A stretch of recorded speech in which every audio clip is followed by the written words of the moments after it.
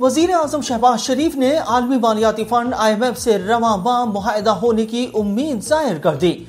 तुर्क खबर एजेंसी से गुफ्तगु में वज़ीर अजम शहबाज शरीफ का कहना था कि हम अब भी बहुत पुरुद हैं कि आई एम एफ़ प्रोग्राम अमली शक्ल इख्तियार कर लेगा। आई एम एफ़ की तरफ़ से हमारा नवा जायजा तमाम शराय और जवाब से मुताबिकत रखता है।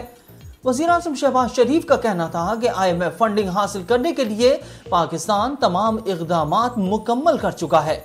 उम्मीद है कि हमें इस माह कोई अच्छी खबर मिलेगी।